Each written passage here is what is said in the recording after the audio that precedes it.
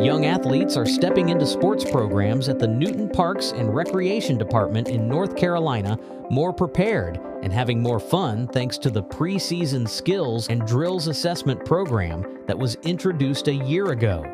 The innovative approach to improve the team selection process features Newton's recreation staff and a handful of specially selected trained volunteer coaches teaching youth the fundamental skills of their sport ensuring a high standard of instruction and safety throughout the program.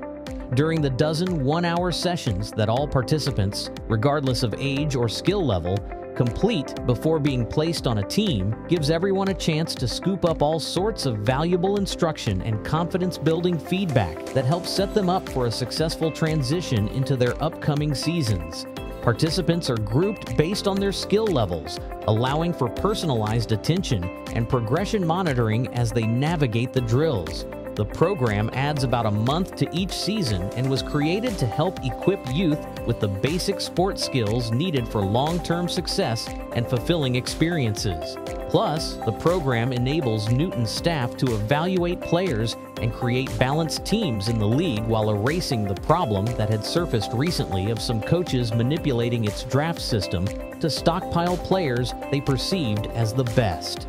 Mandatory parent meetings are held at the beginning of the season for each age division, which starts with the Mighty Mites for ages 4 to 6 and runs through the juniors for ages 13 to 15. The preseason skills and drills assessment program has been super successful as participation rates in volleyball, basketball, and soccer have increased and is testament to the department's commitment to ensuring that youth of all ages and skill levels have opportunities to participate in high-quality programs. Congratulations to the Newton Parks and Recreation Department, a 2024 Excellence in Youth Sports Award winner.